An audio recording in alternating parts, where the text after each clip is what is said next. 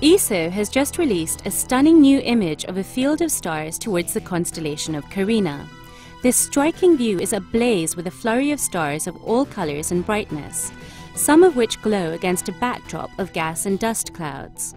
A complex nebula created by previous violent ejections surrounds an unusual star in the middle of this field. Astronomers have discovered that this star has a companion. Interactions in this double star system, surrounded by a dusty disk, may be the engine fueling the star's remarkable nebula.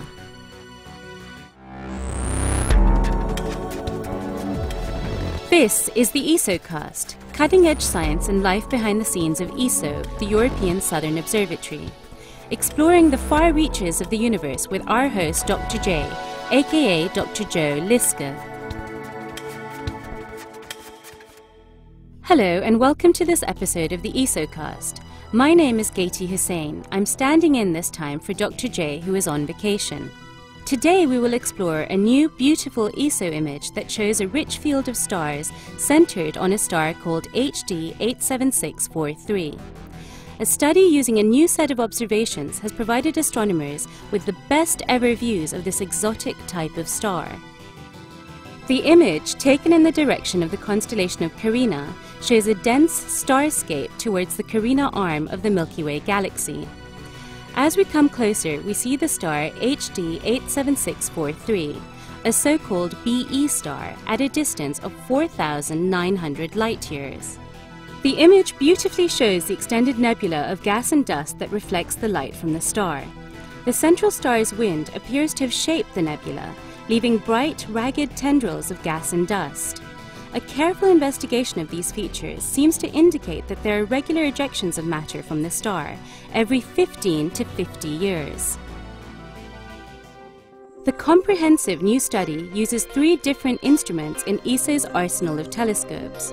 First, for the big overview, astronomers turn to the Wide Field Imager on the MPG ESO 2.2 meter telescope at the 2,400 meter high La Silla Observatory in Chile. Secondly, the team used ESO's Very Large Telescope, or the VLT, at Paranal. Here, the NACO adaptive optics instrument allowed astronomers to obtain an image of the star free from the blurring effects of the atmosphere. To probe the object even further, the team then obtained an image with the Very Large Telescope Interferometer, or the VLTI for short. The sheer range of the set of observations from the panoramic wide field imager shot to the fine details of the VLTI observations corresponds to a zoom in factor of 60,000 between the two extremes. With this data, the astronomers found out that HD 87643 has a companion star located at about 50 times the Earth Sun distance and is embedded in a compact dust shell. The two stars probably orbit each other in a period between 20 and 50 years.